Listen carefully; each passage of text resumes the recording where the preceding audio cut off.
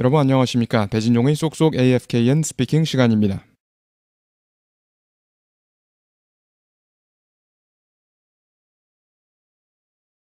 오늘 밤 더 많은 상징적인 미국 회사들이 Tonight more iconic American companies 오늘 밤 더 많은 상징적인 미국 회사들이 Tonight more iconic American companies 오늘 밤 더 많은 상징적인 미국 회사들이 Tonight more iconic American companies 영업을 중단하고 있습니다. 러시아 내에서 are suspending operations inside Russia 영업을 중단하고 있습니다. 러시아 내에서 are suspending operations inside Russia 영업을 중단하고 있습니다. 러시아 내에서 are suspending operations inside Russia 한 번에 하시겠습니다.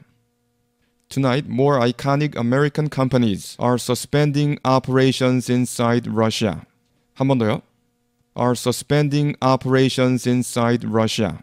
키어 시몬스 기자가 모스코바에 가 있는데 하나 말씀드리자면 하나 말씀드리자면 a note here 이렇게 하겠습니다. a note here.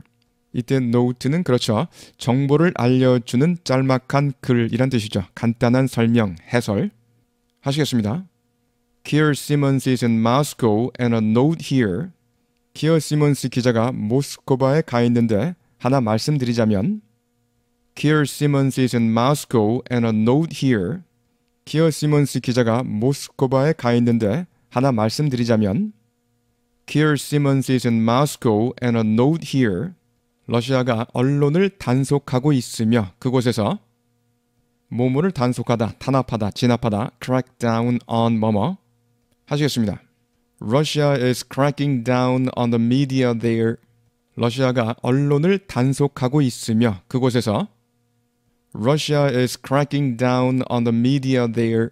러시아가 언론을 단속하고 있으며 그곳에서 Russia is cracking down on the media there.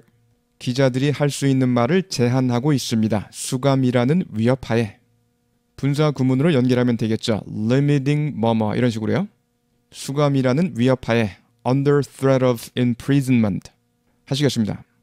limiting what reporters can say under threat of imprisonment 기자들이 할 수 있는 말을 제한하고 있습니다. 수감이라는 위협하에 limiting what reporters can say under threat of imprisonment 기자들이 할 수 있는 말을 제한하고 있습니다. 수감이라는 위협하에 limiting what reporters can say under threat of imprisonment 한 번에 하시겠습니다.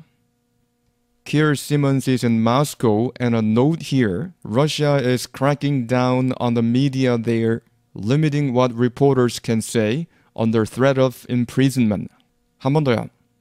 Kier Simmons is in Moscow and a note here. Russia is cracking down on the media there, limiting what reporters can say under threat of imprisonment.